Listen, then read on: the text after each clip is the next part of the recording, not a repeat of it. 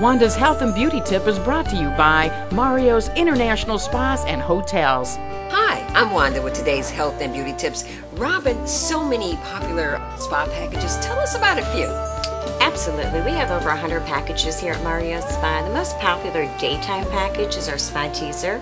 It does include your choice of Whirlpool Steam or Sauna, either hour massage or hour facial, hairstyle, or a manicure and a champagne lunch, which is champagne or wine, entree, dessert, coffee. And from there you can go. That package is about three and a half hours. We go to packages all the way up to nine hours. We can customize the package for you. We do have what's called our microdermabrasion.